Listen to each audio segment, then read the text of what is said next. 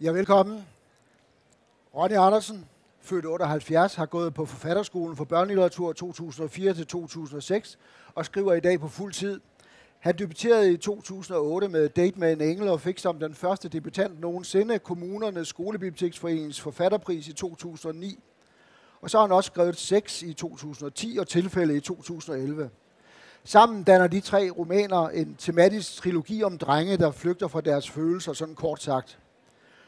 Og så efter de her tre succesfulde romaner er, er Ronny Andersen nu igen aktuelt med en, en god, spændende og anderledes ungdomsroman. Komatøs, der denne gang tager udgangspunkt i den 16-årige pige Maj, der må påtage sig et alt for stort ansvar for sin alkoholiske mor. Og det jeg har forstået, at du er blevet lettere provokeret til at tage udgangspunkt i en pige. Øh, ja, jeg ved ikke, om jeg blev provokeret, men øh, jeg fik det faktisk serveret på et sølvfad, kan man sige. Jeg var ude og lave et foredrag øh, på en skole, og så kom der en pige hen til mig bagefter og sagde, nu har du skrevet tre bøger om tre drenge, der flygter fra deres følelser. Nu skal du så skrive tre bøger om tre piger, som gør et eller andet.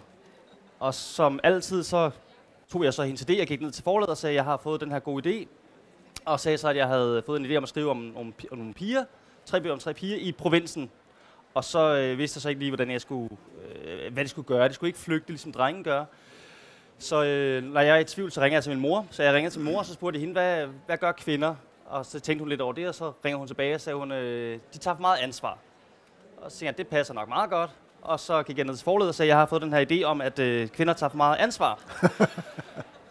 og min redaktør var sådan rimelig meget på, og så, sagde jeg, så begyndte jeg så at skrive på den her bog øh, om en pige, der så havde en alkoholiseret mor, fordi der var ikke nogen, der gav mig en bedre idé, som jeg kunne udgive for at være min egen, til ligesom at, øh, at få en pige til at tage for meget ansvar. Så hun har en mor, der er meget alkoholiseret. Hvordan har det været at skrive med den vinkel på? Øh, som sagt skulle der så komme tre bøger om tre piger, øh, og jeg kan næsten garantere, at det her det er den eneste bog, jeg nogensinde kommer til at skrive, der er skrevet som en pige. Øh, jeg synes, det er meget svært. Øh, når jeg hører andre forfattere sige, at de skriver både for drenge og piger, så bliver jeg meget misundelig, fordi øh, jeg ved ikke, jeg, jeg prøvede at skrive som en dreng, og så bagefter øh, tage alle rationelle tanker og alle rationelle følelser ud af bogen. øh, det er et citat fra Jack, en Jack Nicholson-film, men... Øh, ej, jeg, jeg, jeg, jeg, jeg skulle virkelig bruge tid på det, og heldigvis har jeg nogle, øh, nogle søde skriveveninder, som har læst bogen og givet mig nogle små fif. Øh, men stadigvæk synes jeg, det er meget, meget svært at sætte sig ind i, hvordan en pige tænker. Øh, jeg fik et meget godt eksempel. Min et meget god skrivende sagde til mig, hun siger på et tidspunkt, at hun har meget små bryster. Det siger en pige ikke om sig selv. Vil en dreng måske stille sig op foran spejl og sige, mig og min krop, og så min lille diller. Øh, og det kunne jeg måske godt se, at, øh, at sådan tænker en dreng nok ikke om sin krop. Så jeg har fået nogen, noget hjælp undervejs. Okay. I øh, dine tre første romaner har du vel kunne finde personerne i nogle hjørner af dig selv. Øh, I hvilke hjørner af dig selv har du fundet mig? Oh, mange steder. Jeg kan, jeg kan genkende mig rigtig godt. Altså, der er en grund til, at hun hedder mig. Der er blevet tolket rigtig meget på, at, øh, at det er fordi, hun skal finde sig selv og også nogle ting, og det er også rigtigt, men, øh, men hun hedder også mig, fordi jeg altid skriver mig selv. Øh, og det er så også stjålet øh, fra Ole Lund Kirkegaard. Men øh, i den her bog er jeg nok gået ind i nogle, øh, i nogle følelser, jeg føler sig øh, ikke forkert, men øh, min mor har også drukket på et tidspunkt, så, øh, så der har jeg også haft nogle erfaringer at trække på. Altså det der med for eksempel at, at skulle gå ned og hente sin mor, eller gå ned og spørge, om man må få en 20'er til mad, eller... Øh, så jeg har trukket på nogle ting, men andre ting har jeg simpelthen måttet gætte mig til, fordi jeg jo som sagt ikke er en pige. Uh, en uh, svensk lyriker har engang sagt, at børn har brug for voksne voksne. Men, men det er ikke voksne voksne, mig har fået tildelt som forældre. Nej, det, det kan man ikke lige frem sige. Eller øh, det er i hvert fald voksne med voksne problemer, øh, og så derfor så bliver hun så et barn med voksne problemer. Øh, altså jeg, jeg, jeg tror i bund og grund bare, at, øh, at hvis man er barn, så har man brug for bare én voksen, der er konstant i sit liv. Så har man en chance for at nå ud på den anden side. Øh, og det kan være hvem som helst. Det kan være en, en, en lærer, det kan være en forælder, det kan være øh, en mormor, et eller andet. Øh, men hvis man ikke har en voksen, der er, er der konstant, så tror jeg, man får det meget, meget svært. Øh, men det har mig ikke rigtigt. Altså hun har ikke rigtig nogen øh, voksen, så hun sidder med, med voksne problemer, og har, føler ikke, hun har nogen voksne, hun kan komme til. Øh, Så Forfatteren øh, Sulaiman Mahin har engang sagt til mig, Bent, øh, du skal huske på, at mange unge har allerede et langt liv bag sig. Er du enig, enig med hende i det? Ja, det er jeg meget enig i. Altså, øh, jeg tror faktisk, at det, at det er meningen, at man skal overhale sine forældre. Øh, altså, det er jo ikke mig, der har fundet på det igen. Jeg stiller bare. Øh, men jeg tror, jeg, jeg tror, det er meningen, at man skal, at man skal tage sine forældres problemer på sig, og så komme videre derfra. Altså på et eller andet tidspunkt smide dem fra sig. Mm. Øh, og det prøver jeg på at, at, at give mig. Altså give hende to liv. Øh, sådan, så hun har et liv, hvor hun lever i morens skygge, og så måske træder ud af den skygge til sidst og får et, et nyt liv, eller intet liv. Er du så i virkeligheden mere end 34? Ja, det er jeg. Okay. Øh, min kæreste vil sige, at jeg er en sur, gammel, bitter mand. Okay. Uh, mig og hendes mor flytter så fra kommune, flytter fra kommune til kommune, og- nu så gælder det Jylland, Østjylland måske. Uh, de kører i hvert fald over Vejlebroen på et tidspunkt, har jeg bemærket.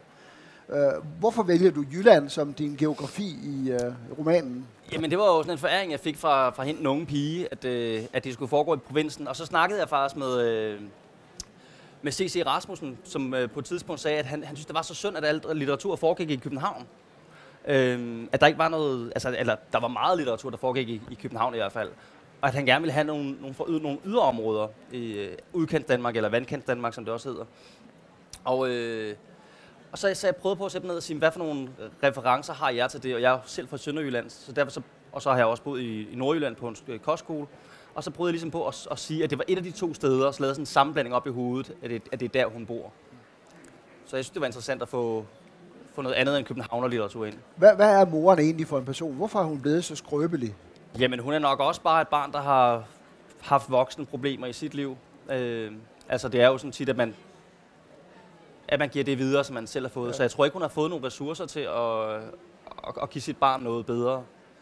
Øh, men altså, jeg synes, hun prøver, og jeg, jeg synes også, man kan mærke, at moren hun kæmper med en masse ting. Ikke, ikke bare falder i hele tiden, men også, at hun, øh, at hun har øh, i noget baglandet, ikke, Ja. der, der gør ondt. Men øh, faktisk har de, jo- har de to det jo godt sammen. Øh, sådan lidt lige over. Øh, men er det godt? Som mor og datter? Ja, altså, øh, jeg sidder jo også som forfatter og tænker sådan, øh, at det ikke må blive for klichéagtigt, eller at jeg gerne vil have nogle, øh, nogle relationer, der spiller på en anden måde, end jeg måske før har læst. Eller, øh, og der, for mig var det bare vigtigt, at, at, at de havde et venskab, øh, måske mere end et mor-datter-forhold.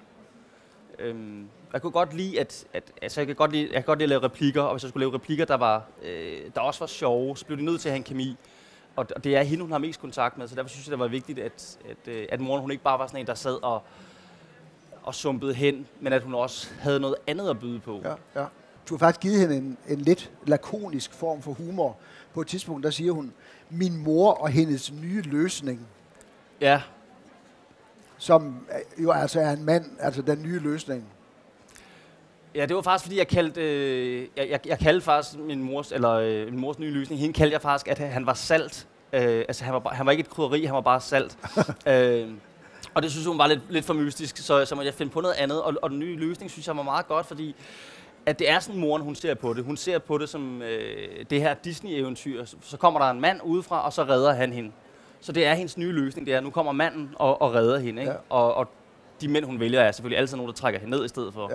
Ja. Øhm, og jeg kan godt lide, hvis man kan, at der er noget, som, som man kan tolke på. Ja. Altså, som de voksne kan sidde og tolke med på. Ikke? Så der både er noget til den unge, og der også er noget til, til de voksne. Øh, faren er militærmand og lider af posttraumatisk stress og har også tæsket moren på et tidspunkt. Men hvem er han egentlig ellers? Ja, det ved jeg ikke. Jeg har ikke mødt ham særlig meget. Nej, øhm, Det gør man nemlig ikke. Nej, øh, og, det, og, det, og det var også sådan bevidst. Jeg ville gerne have den der far, der ikke var der. Øh, og det er også noget med, hvad for nogle andre bøger, man har skrevet. Der havde jeg lige skrevet en bog, hvor der, hvor der var en far der, som var sød og rar, og så ville jeg gerne have faren, han ligesom ikke var der. Øh, så jeg kender ham ikke. Øh, men jeg, jeg synes bare, det var interessant det der med, at, at man havde noget andet end bare en voldelig far. Altså, der skulle ligesom være en, ikke en grund til det, men, men jeg synes, det var interessant, hvis man kunne udstyre ham med nogle grunde, sådan, så man tænker, at man faktisk godt kan forstå, at han måske er sådan. Ja. Og det er posttraumatisk stress jo. Ikke at det er en undskyldning, at fordi jeg har posttraumatisk stress, så må jeg gerne slå på min kone. Øh, men jeg synes, det giver ham noget... Øh, det giver i hvert fald nogle tolkningsmuligheder Ja. til, hvorfor han er blevet sådan, som han Ja. er. Ikke? Bør- Børns og unges solidaritet med, der, med deres forældre er åbenbart grænseløs. Er det også øh, din erfaring fra det virkelige liv? Ja, det er det. Øh, ej, jeg ved ikke, om det, jeg ved ikke, om den, altså, der er jo nogen, der, der må korte deres forældre på et tidspunkt, og det synes jeg også er fint nok, øh, hvis man må komme dertil. Men jeg tror stadigvæk, at man, selv hvis man cutter sine forældre, og aldrig nogensinde ser dem igen, så tror jeg stadigvæk, man elsker noget i dem. Selv hvis man hader dem. Altså, man kan ikke engang hade folk uden at elske dem jo. Men, øh, men altså, min erfaring er i hvert fald, at jeg har elsket mine forældre lige meget, hvad der er sket, og lige meget, altså, de har jo også gjort mig til den, jeg er. Ikke fordi jeg er den bedste udgave af mig selv, jeg overhovedet kunne være blevet. Øh, jeg kunne selvfølgelig godt være blevet en bedre udgave, øhm, øh, men jeg, jeg elsker mine forældre, og øh, jeg synes heller ikke, de har gjort mig noget ondt. Altså, øh, jeg har fået nogle rigtig gode ting fra min far og fra min mor, øh, selvom de har haft nogle problemer. Ja. Jeg har lige læst en bog om empati, og i den, der, efter den, der blev Jesper Juhl øh, interviewet i Kristi Dagblad, hvor han siger, at uden evnen til at indleve sig i andre vil den moderne verden for alvor lide under mangel på forståelse, samhørighed, medfølelse, mens egoismen vil sejre, citat slut. Er det noget, du har i tankerne, når du skriver? Ja, men jeg undrer mig over, hvorfor han siger vilde. Altså, altså det, det, det, er jo, det, det er jo lige nu og her, det sker. Det er vildt. øhm, Ja, Ej, jeg, jeg, jeg synes virkelig, det er... Øh, jeg synes, der er meget lidt empati i verden, så, så det tænker jeg meget over. Øh, og jeg tænker også meget på, at jeg ikke skal komme og have en løsning, men at jeg skal komme og øh, elske mine øh, karakterer. Og hvis jeg elsker mine karakterer, så er der en chance for, at min, at min læser også vil elske dem. Lige meget hvad de så end gør. Altså øh, om de er om de slår, eller om de er øh, alkoholikere, eller om, om de gør nogle ting, som man ikke selv ville gøre. Ja. Øh, så jeg synes, jeg, det synes jeg helt klart er vigtigt. Også at den unge, når de sidder og læser, tænker, øh, ej, bare hun dog vil gøre sådan, eller altså, at de kommer til at elske karaktererne. Ja. Ja. Fordi det er jo en måde at styrke folks empati på. hvorfor går det helt galt derovre på den anden side af Vejlebroen Jeg for tror, mig? Jamen, jeg tror egentlig, det går galt lige meget, hvor hun er henne. Øh, fordi hun er et sted i sit liv, hvor, hvor, det, hvor det skal gå galt. Altså, øh, det er næsten som om, hun er udstyret med sådan en magnet, hvor universet bare kommer og smadrer hende. Øh, og det er jo så mig, der er det univers, så jeg er lidt tavlig, kan man sige. Men øh, jeg, jeg, jeg, jeg tror, hun er et sted i sit liv, hvor der skal ske noget. Øh, og det er så bare uheldigt, at, at det så lige skal være mobning, hun bliver udsat for. ja. ja, for hun allierer sig jo med klassekammeraten Philip øh, og bliver kæreste med ham, med ham men, men alligevel bliver hun mobbet. Hvad, hvad, hvorfor gør hun egentlig det? Er, Ja. det? er det på grund af den lille øh, tatovering på halsen, eller hvad? Altså, jeg ved ikke, øh, jeg ved ikke, hvorfor der er nogen, der bliver mobbet. Hvis jeg vidste det, så ville jeg, øh, så ville jeg nok lave noget andet end at skrive bøger. Øh, så ville jeg nok rejse rundt og, og, og, og prøve at, at medicinere folk mod det, eller hvad, hvad man nu skulle gøre. Men øh, altså, jeg synes, mobning er meget forfærdelig. Jeg hader faktisk at læse om mobning. Øh, og det eneste grund til, at jeg valgte at skrive om, om den her, det er også fordi, jeg, jeg, jeg har selv prøvet at blive mobbet. Og jeg har også selv prøvet at, at mobbe andre. Men, men jeg blev reddet øh, af min far. Fordi når jeg kom til skolesamtaler, så sagde øh, forældrene altid, han læser ikke, han følger ikke med i, til, han laver ikke sine øh, lektier. Han, og hans, hans største problem er, at han synes, det er skidesmart at være ligeglad. Okay, fedt nok. Så jeg sad ligesom og blev bombarderet med alt muligt. Og så, øhm, og så hver gang så sagde lærerne så, men han er et godt socialt barn. Hvis der ikke er nogen, der gider at sidde ved siden af Brian, og klassens smukke pige gerne vil sidde ved siden af ham, så vælger han så at sige, "Nå, men jeg vil gerne sidde ved siden af Brian. Og så vælger han så at sidde ved siden af ham et helt år. Øhm, og det var ikke noget, jeg gjorde, fordi jeg var udspillet. Det var, fordi jeg simpelthen bare synes, det var synd for ham. Ja. Men den reddede mig altid, så jeg fandt ligesom ud af, at, at det kan betale sig at være et godt socialt barn. Ja, det er faktisk øh, pigerne, der er de grove i øh, mobningen af, af, af mig. Ja, øh, Ja, det er vel også en pointe. Ja, Eller- det synes eller jeg, og så, og så er det jo også en pointe, at, øh, at hvis du slår de to piger sammen til CC, så bliver det så til CC Rasmussen, som så er Ja, anmelder. Ja, ja, Øh, ja, ja, ja, ja. Den, den har altså, jeg øh, gættet. det, det, det, det er lidt de onde, ikke? Øhm, ej, jeg, jeg ved ikke, altså, jeg, jeg ved ikke, hvorfor pigerne er onde, men, men jeg har været på en skole, som jeg gik på på 15 år siden, som reddede mit liv, stort set. Øhm, og der sagde de til mig, at, at dengang jeg var ung, der var det drengene, der var problemerne. Men nu havde de faktisk pigebander, og de pige, øh, dem, der kom ind på skolerne, altså som det kostede måske altså ret mange penge at komme på den her skole, fordi det var øh, kommunen, der skulle betale. Og der var det alle sammen piger, der var problemerne. Altså det var dem, der lavede pigebander, og, øh, og, og de er meget mere onde. Ja. Og der er også en af citaterne i bogen, der siger, at øh, hvis en krig skulle... Altså hvis det var kvinderne, der bestemte verden, så ville der kun have været en eneste krig. Altså, øh, og mænd, de laver regler før og efter en krig. Og kvinder, de vil, altså, de vil kun lave én gang, og de vil lave den regel, der hedder, jeg bestemmer, og jeg bestemmer reglerne. Ja. Øhm, og det er selvfølgelig meget, meget groft sat op, men, men der er ikke nogen drenge, der står og skodder cigaretter i panden på hinanden, og, altså, og det er piger villige til, i Ja. de Ja. pigebænder, jeg har hørt om i hvert Ja. fald. Øhm, Du drukner hende jo faktisk på side 1, ja, jeg elsker at slå en karakter ihjel på Ja. første side, eller Ja. næsten i hvert fald. Ja. Ja og så, så går hun i koma. Hvordan har du fundet frem til det sprog, du har lavet? Det, det komasprog, om jeg så må sige, som jo starter der omkring side 120.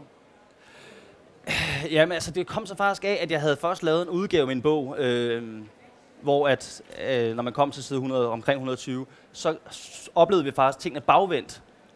Øh, og det synes min redaktør var meget irriterende, og det synes konsulenten også. Han skrev faktisk, at, øh, at, øh, at det var en rigtig fin bog, en perle af en bog, indtil side 116. Hvad fanden skete der der? Så mistede jeg det hele på jorden. Øh, og det kunne jeg godt se. Og så gik jeg faktisk tilbage og så, at de steder, hvor jeg ligesom... Øh, havde skrevet noget i før datid, altså far, min far havde til min mor, det skøjtede jeg ligesom lidt elegant henover. Og så tænkte jeg, at det kunne være sjovt, hvis man så efter komaet kunne dykke ned i de passager, Ja. ja. og så få uddybet, hvad det egentlig var, der var sket. Øh, og så begyndte jeg at skrive dem, så det gav sig selv, at jeg Ja. faktisk havde lagt nogle spor ind, som jeg ikke havde opdaget, at jeg havde gjort. Jeg tolker, hun ser lyset til sidst, til sidst og øh, jeg tolker, at hun er så øh, livskraftig, at hun vil øh, leve livet. Det er jo fantastisk, du har en tolkning. Ja. Man bliver formelig suget ind i historien om mig, øh, der på en gang både rører, oprører og berører en ganske meget. Tillykke med din flotte komatøs, og min damer og herrer, læs den for pokker. Tak.